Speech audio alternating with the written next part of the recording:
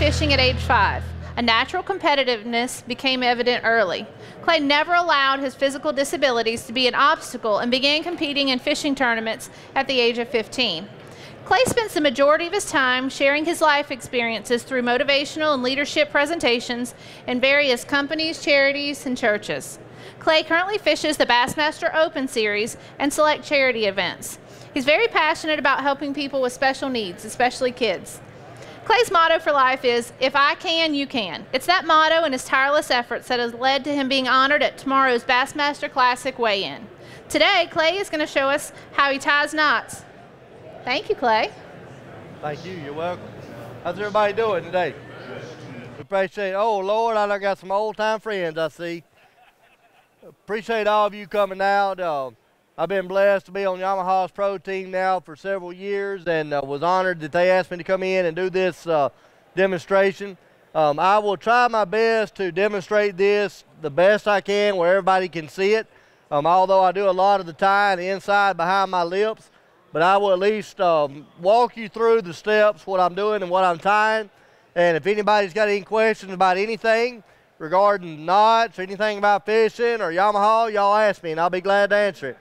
Um, as far as fishing knots, I've tied about everyone that is in the fishing knot book or whatever. I've tied them all. Um, they're all good knots.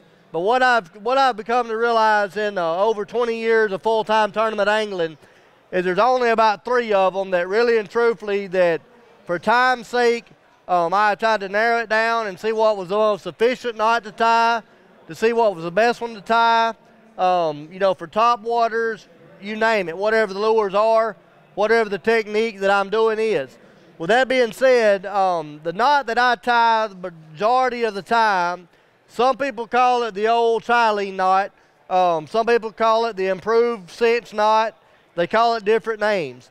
Um, but this knot is a knot that I tie all the time unless I'm throwing a topwater walking bait where I want the bait to have some uh, loose slack in the line to walk easier, or if I tie like a, a, leader to a main line, then I use a blood knot.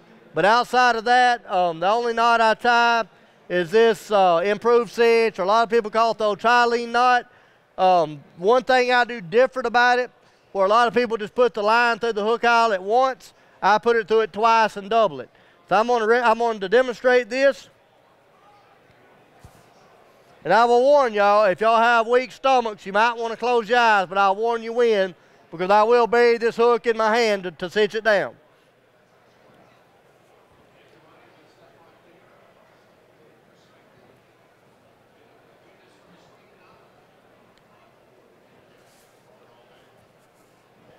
So I go through the hook aisle at once, as you can see. I've got about 8 to 10 inches of slack on my tag line currently. I would have picked a jig to tie on because outside of a jerk bait, a jig is the hardest bait to tie this knot in because all the skirts. I got about six or eight inches of tag.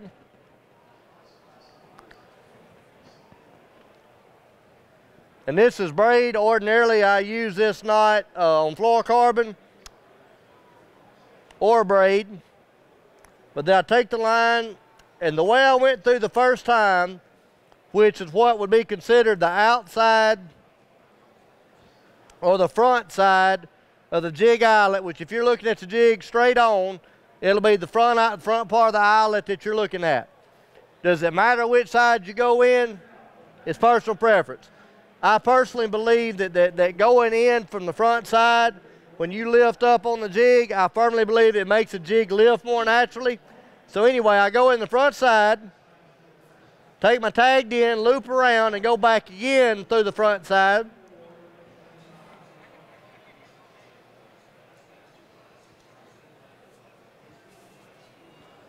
Some of you might be able to see it, some of you might not, but there's a round loop that's right there that I've started. And what I do is take my tagged end and I take it down to where that round loop is about the size of a dime or maybe a little bit about a half a dime, about the size of a, of a black eyed pea.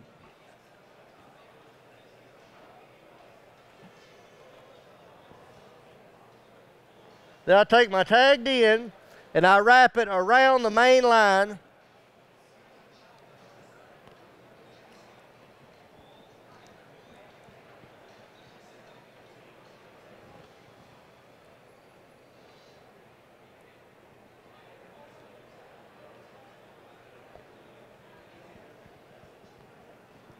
In my boat, I'm a lot faster.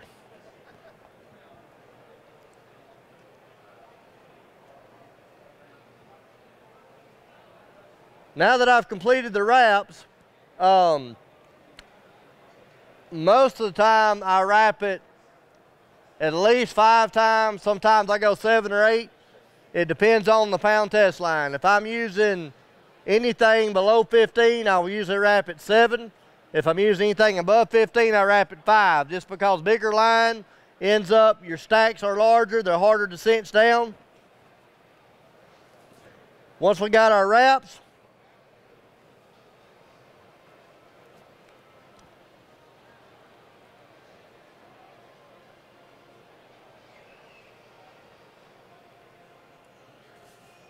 This is the real key to the knot.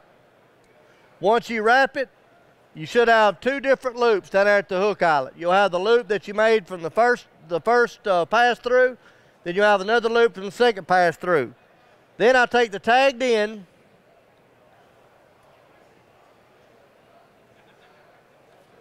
go through both loops, and I start to cinch it down to where the knot almost starts sliding, and then I stop. Then I take, and most of you who have two hands will do this with your hands, but with your hands, you take and hold the tagged end along with your hook eye or your like jig head or whatever hook you're using. You wet it down good.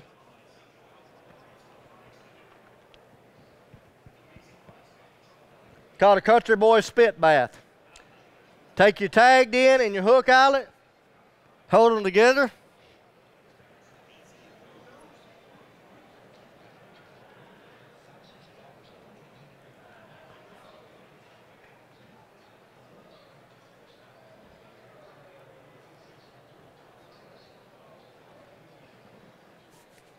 I don't know how many of y'all might have been able to see that from where you were sitting or standing, but when I held that tagged end and wrapped the other line around my hand, it cinches all those stacks down together. Well, then,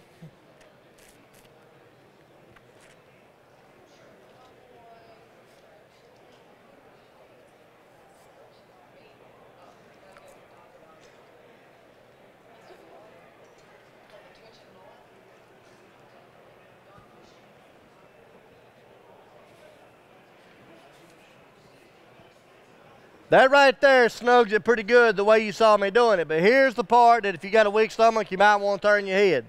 It looks like it's all snug, but to make sure it is, this is what I do.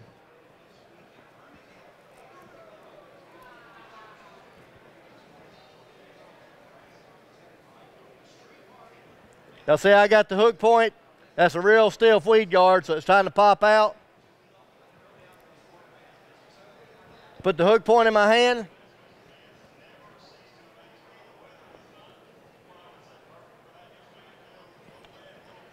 And there you have it.